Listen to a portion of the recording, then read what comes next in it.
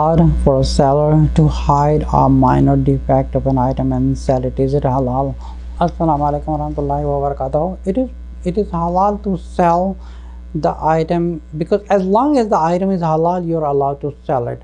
But hiding something uh, there's a defect even it's a minor or it's a major defect and you're trying to hide from the buyer uh, it is based you're doing a transaction based on a lie. Because let's say for example you made the transaction on a lie and you hide something.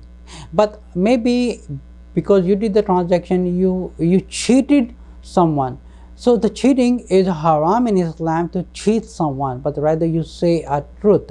But you are not saying, but you are not lying, but you are hiding the defect. So hiding means you're cheating the buyer. So cheating in Islam is a haram, is not allowed to hide it. But that particular product that you're selling, it's halal. So what happens, like for example, you did the uh, transaction of an item that is halal but that has a defect in there you hide it from there so so if you do not hide it it will not sell. But what but instead of that and the rest because of that you will the blessings of allah will be removed from that type of transaction. But maybe because of the punishment of allah later on you get a big problem and you lose some money on something else in your life. Because maybe you can get a sick your family member get a sick maybe you have a car accident uh, you have a home something break into your apartment it, it, it could be happen anything. But do not just think like you just let it go and allah would say okay i'll let it go. Allah would not let it go because this is laws of allah.